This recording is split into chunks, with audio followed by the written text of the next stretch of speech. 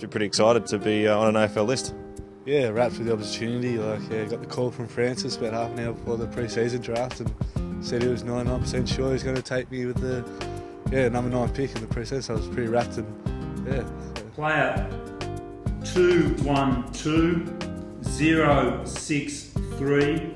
Brett O'Hanlon, Dandenong Stingrays, Edithvale Aspendale Junior Football Club.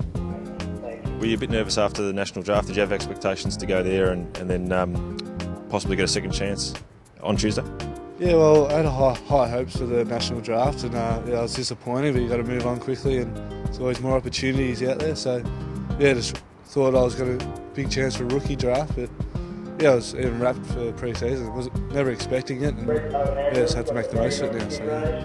What's the first 24 hours been like after coming here and, and you know meeting the boys? Yeah, a bit daunting at first, like walking in, you see them, um, yeah, Brett Deledio and stuff, like Jack Riewoldt, just watching them play like just at the Telstra or at the MCG. So it's good to get along with them, and they're all a good bunch of fellas. Like yeah, easy to get along with, and great, great to be a part of the Tigerland. So. And your first weight session, you had um, Jake King lurking around. How was that? Yeah, Jake was around, and I got to join in, so I had a good first weight session with Jake King. So it was pretty, pretty good. Like put me through the paces and yeah, made me work. So it's good.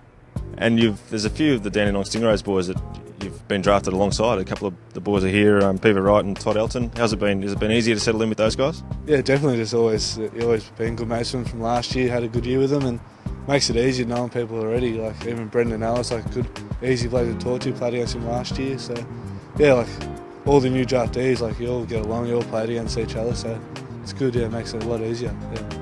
And tell us about your journey to the AFL, your junior career, and up until this point.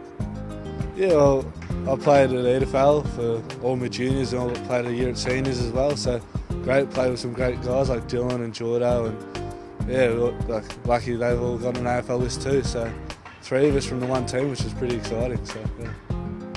Um, and you got your chance to represent Vic Country this year. How was that experience? Yeah, like coming the first year to I was never expecting it. So great to get the opportunity. Like Robert Hyde, coach, great, great fella, and Leon Harris runs it well. So great, great bunch of guys as well. So we had a great time and disappointed couldn't go all the way. So. And uh, what sort of play can the, the Tiger fans expect to see from from Brett O'Hanlon?